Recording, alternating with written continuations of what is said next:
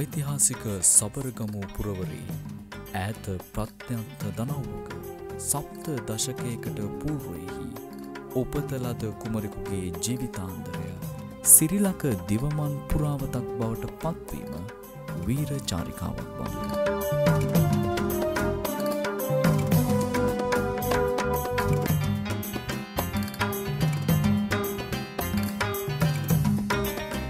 ශ්‍රී ලාංකීය වේදිකාවේ වසන්ත සමය සිය හඬින් රුවින් තෙදින් නතුකරගත් ඔහු රුවන්පුර රුවන් පුතකි.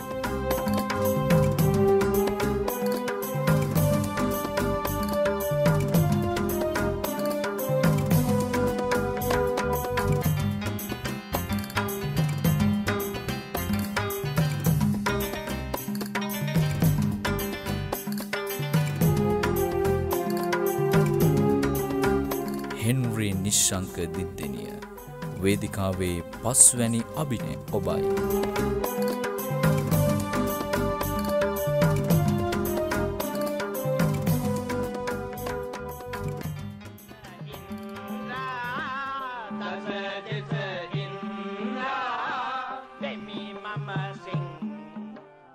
කල්ලෙන බිදලා රෙන්දොර හැඩලා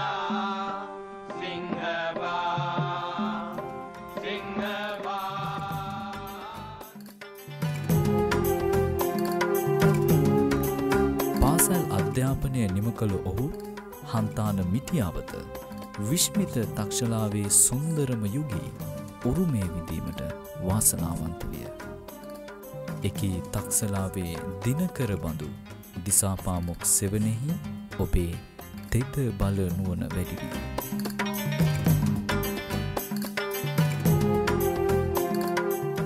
ඉන් පසු සිංහල නාට්‍ය වංශයේ ඔබේ නමට පරිච්ඡේදයක්ම ලියවුණා නොවේද. උත්තම වල්ලෝව පතලා එංගලන්ත නමින් යුතු විපුලා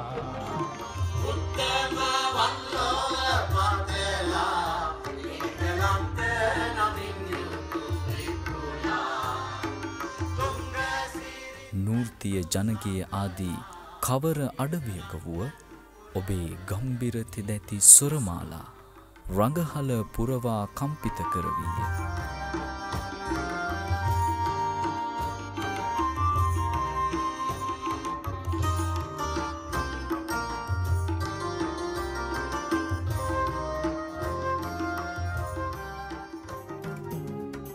වාසනා මහිමය ශාස්ත්‍ර ඥානයෙන් ඔප වැටීම යනු ඔබේ ජන්ම ප්‍රතිභාවට පැළඳූ කිරුලක්ම විය.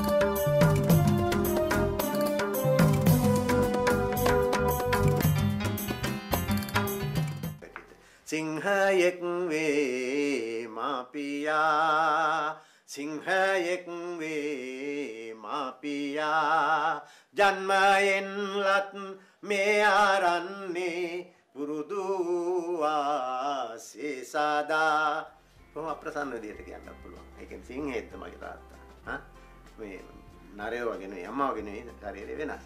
නමුත් සිංහයෙක් වේ මාපියා ජන්මයෙන්ලත් මේ ආරන්නේ පුරුදුවාසේ සාදා ඔය දෙකෙන් කොයිකද හරි කියලා කියන්න බෑ.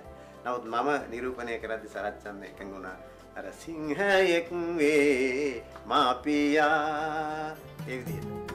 ලාංකීය වේදිකාවේ නිශ්ශංක දිද්දෙනිය මුද්‍රාව දීප්තිමත් වේවී.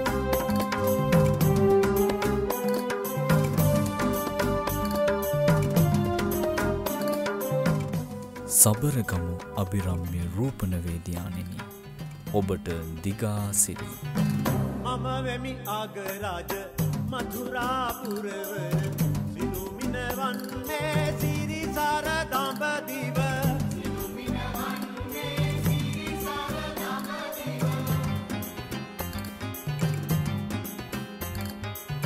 වරදානිරිනුන් උදුරාඋන් පන පතුරා